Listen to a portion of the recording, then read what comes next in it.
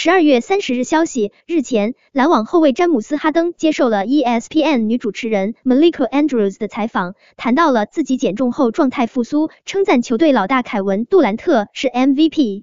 主持人 Malika Andrews 提问：赛季开始时，我曾经采访过你，你说今年是这么久以来感觉最好的一年，你现在感觉如何？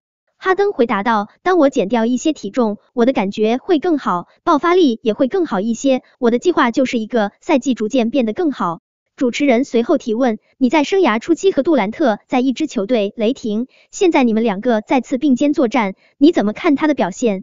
哈登回答道：“他现在技术完美到极致，他拥有与生俱来的天赋，他知道应该去到哪个位置得分。”当他去到他的位置之后，对手的防守就不存在了，能否得分就完全取决于他自己。主持人问：“你认为他是联盟的 MVP 吗？”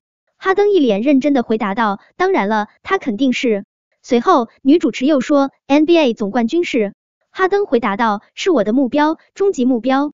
实现目标之前，我会一直努力下去。”对于哈登的这一番彩虹屁，网友们纷纷表示，他说 for s 的时候眨眼了，他在撒谎，多认真的表情，大哥在我灯心中是最好的，我大哥天下无敌，胖胖别谦虚啊，你曾经也是 MVP 啊。我大哥就是 MVP，你这胖子，我刚回归你就开始奶了是吧？这赛季的 MVP 难喽，展望 FMVP 吧，继续吹，大哥很喜欢。登子，我大哥天下无敌，肯定不是毒奶，别瞎猜了。阿杜绝对是联盟里为数不多能让登子心服口服的大哥。哈登说话滴水不漏，好大一口奶。哈登，我不肯定他，他不给我买奶昔。杜兰特稳稳当当，最符合哈登利益的选择是不夺冠离开，加入勇士或者太阳，这个需要魄力。夺冠签一要痛，这个也需要魄力。